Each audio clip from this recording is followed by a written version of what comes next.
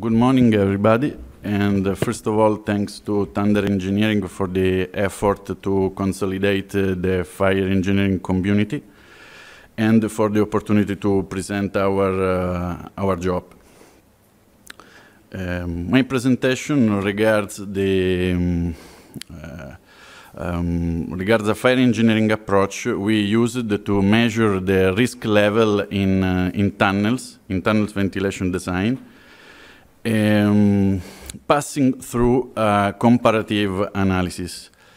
This approach can be used uh, both in uh, design stage, uh, when alternative design solutions have to be studied, or during the life cycle of the infrastructure when, for example, the company that manages that, the tunnels um, are obliged to introduce modifications uh, that could be in terms of architectural uh, or civil works or mechanical ventilation. And uh, fire engineering is always uh, more frequent uh, the, the element that uh, allows to connect all these disciplines and in a lot of cases solve the, the problems for general contractors, engineering companies, and so on. Um, the methodology um, necessary to implement this approach, the approach I'm going to present you, uh, normally um, needs a multi-scale approach combining the 1D analysis with the use of CFD plus evacuation simulations. Because the, um, the core of this approach is to measure the performances that allows to evaluate the interaction between people and uh, combustion products during the evacuation. Um, that are the egress time and the fractional effective dose, the FED. The first case study uh, I present you uh, to explain this approach is a two-way tunnel uh, wherein a transversal ventilation logic is applied. The evacuation system is provided of ventilated refugees. This is a six kilometers uh, uh, long uh, tunnel. Um, now, the, um, starting from two or three years ago, the, the company that manages this tunnel is uh, developing a project to finalize it, to arrive on a final configuration of the, of the tunnel that will be uh, two one-way tubes. The problem uh, for the company is to um, identify a way to measure the risk level associated to the tunnel during the construction phase because the, the infrastructure will be in different configuration, probably in a very long time.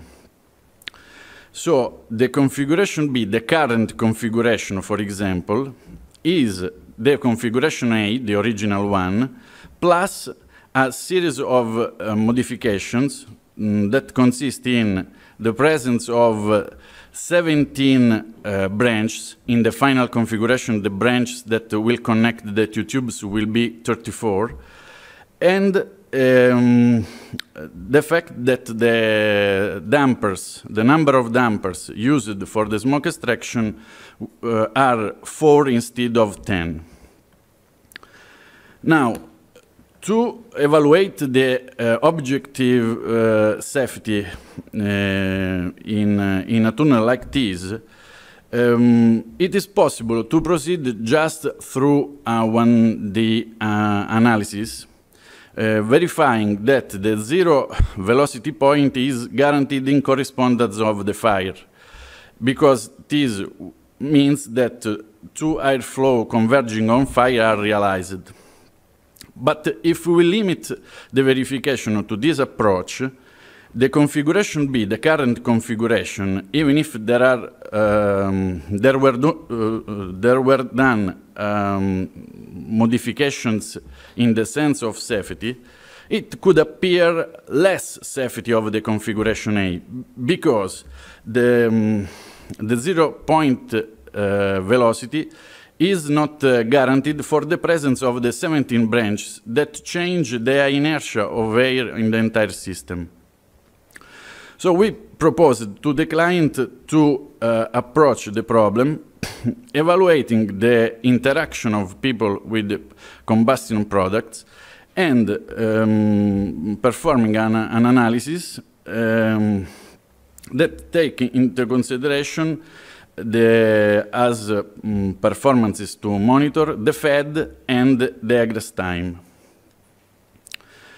Um, performing the analysis on, on the basis of the same fire scenario hypothesis, we demonstrated that the egress time and the FED in configuration B is, uh, are less than the configuration A, demonstrating that the, the system is um, has a level of safety higher than the, the original one. For what concerns the smoke control, um, the fact that uh, in the configuration B they use uh, only four dampers instead of 10 is visible uh, if you plot the temperature on another variable in function of the progressive of the tunnel. In fact, you can see that in the configuration B, the portion of tunnel involved of smoke is shorter than the configuration A. Finally, um, uh, we um, reported in, uh, in this plot uh, for each configuration the egress time calculated in uh, the column green uh, field uh, in case of fire and with the column empty in absence of fire. You can see that passing from the configuration A to the configuration B, the difference in terms of egress time is lower. This means that the configuration B, even if it's an emergency situation, is so close to a situation in absence of fire.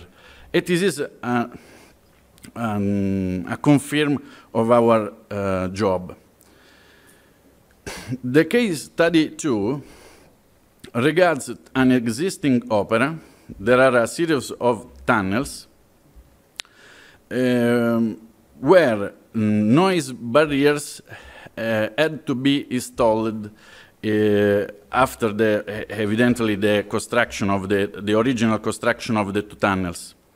So the um, company that manages this uh, this opera has the problem to evaluate how change the risk passing from the configuration A to the configuration B, uh, from a case without the noise barrier and the case with noise barrier. The noise barrier, just to um, clarify for, for all, uh, has to be considered as a portion of tunnel closed on the sides with um, open baffles on the ceiling, um, located at the end or at the beginning of the original tunnel. Because of the uh, original tunnels um, have a length less of one kilometer, no ventilation is uh, required but the presence of the noise barrier can increase the fluidodynamical length of the tunnel and um, create a situation in which um, ventilation equipment could become necessary. We support the, the client, su suggesting him to uh, perform the analysis according to the approach I explained in the case study one, in the first one, and we consider the worst uh, case uh, for the fire scenario, um, positioning the, the fire in, in, order to maximize the spreading of smoke along the, the system. Um, we use two different uh, HRR curves with two dif different for uh, grow rate and um, peak value. And we uh, obtained as a result that in the configuration A, the smoke uh, spread outside of the tunnel 2 without coupling with the tunnel 1.